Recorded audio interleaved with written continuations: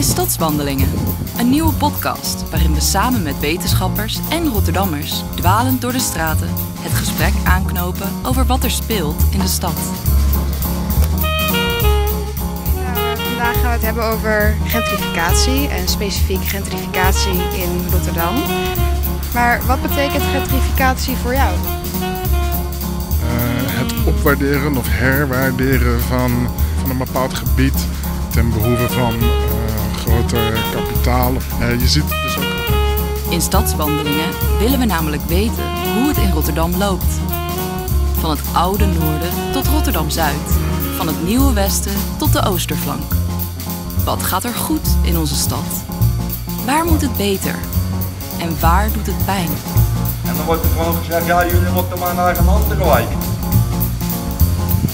Ik wil niet naar een andere wijk. Ik ben hier geboren. We spreken mensen met het hart op de tong en een hart voor de stad. Van sociologen tot stadsdichters, van havenarbeiders tot Rotterdammers uit de buurt.